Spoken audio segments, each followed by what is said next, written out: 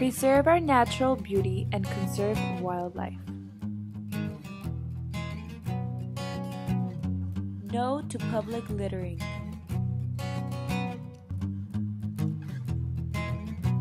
Dispose of trash appropriately. Keep the Rio Grande Valley beautiful.